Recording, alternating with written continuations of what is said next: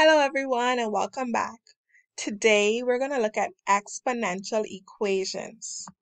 Let's take a look at what the objectives for this video are.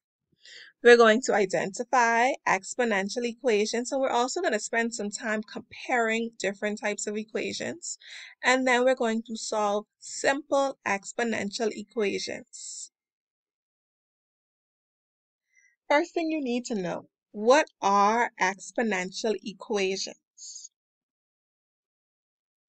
An exponential equation is an equation where the variable is in the exponent or the index, depending on which word you're used to. So here is an example. 2 to the power of x is equal to 16. 3 to the power of x is equal to 27. 4 to the power of x is equal to 64. So today we're going to look at solving these particular equations.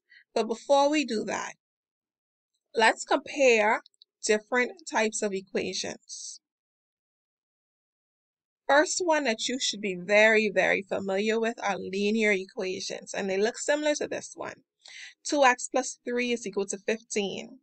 And what this does, notice that there are no powers, no squares, no cubes, nothing to the power of x. And when I graph it, it's going to give me a simple straight line. Now our quadratic equations, you should also be familiar with this. These look like 2x, well, I'm sorry, x squared plus 3 equals 19.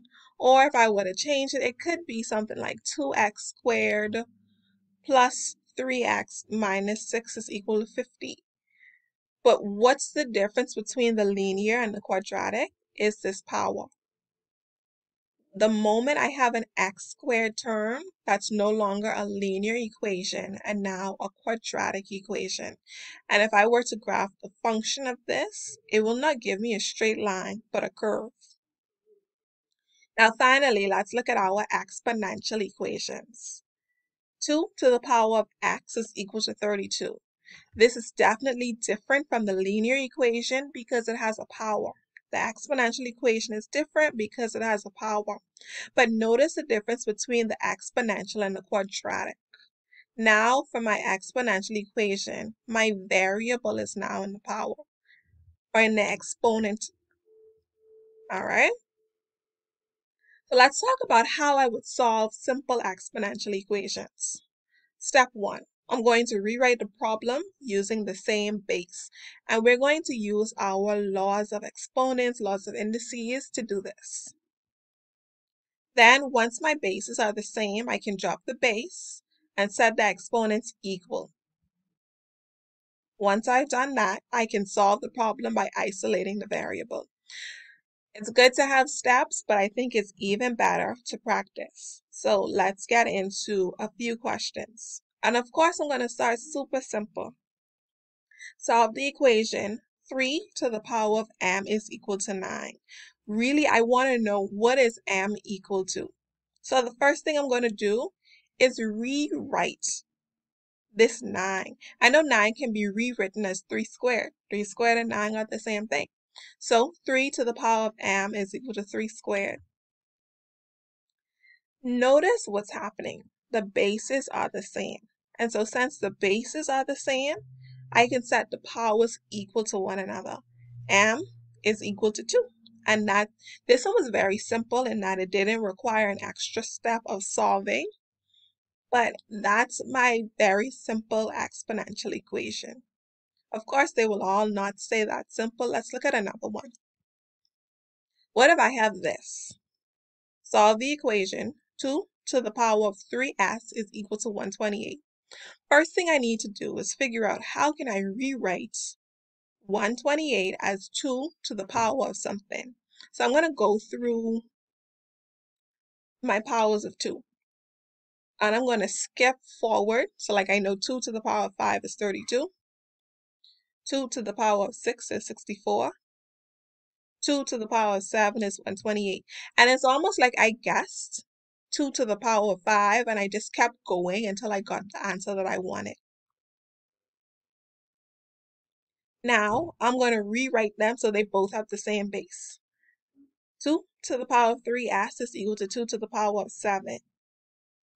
Now that the bases are the same, and I know that 2 to the power of 7 is the same thing as 128, now that I've done that and the bases are the same, I can drop the base and set the exponents equal to one another. So I'm going to say 3s is equal to 7. Now, unlike the previous one, I have to do a little bit more work because I need to now solve for s. But this is a very simple one-step equation. S is equal to 7 over 3. All right, I, I think this one was a little bit more involved, but let's look at one final question. What if you have this? 2 to the power of 5x is equal to 1024. First thing I need to do is identify 1024 to be 2 to the power of what? So I'm guessing 8. That was my first guess. That wasn't quite correct, but I'm going to keep going. I'm going to check 2 to the power of 9, 5, 12. 2 to the power of 10, that was it exactly. 1024. So this works. I know that 2 to the power of 10 is 1024. So I'm going to rewrite that. So I have 2 to the power of 5x is equal to 2 to the power of 10. And all I did was replace this 1024 with 2 to the power of 10. So I have 5x is equal to 10. And now I can solve this very simple one-step equation. x is equal to 10 over 5. Straightforward, right? And once I finish it off, x is equal to 2. Okay, I think I have one more for this video. And this one is a little bit more involved because notice I have 1 over 81. 9 to the power of 2x is equal to 1 over 81. Well, the first thing I'm going to do is identify how I can rewrite this, right? So let's look at what I do know. I know that 9 squared is equal to 81. But let's think or let's remember our negative indices. What you should remember is 9 to the power of negative 2 is 1 over 81. And so that's what I'm going to use. 9 to the power of 2x is equal to 9 to the power of negative 2.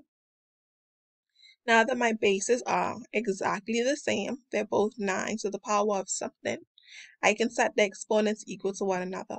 So 2x is equal to negative 2. x is equal to negative 2 divided by 2. x is equal to negative 1. All right, very short video with three or four different examples to show you how to solve very simple exponential equations. I hope that this video helps. And if it did, let me know what you liked about the video, what helped you, or what did you learn, or if you need help with something else. When we talk about exponential equations, you can also let me know that too. All right. Thank you so much for tuning in and enjoy the rest of your day. Bye.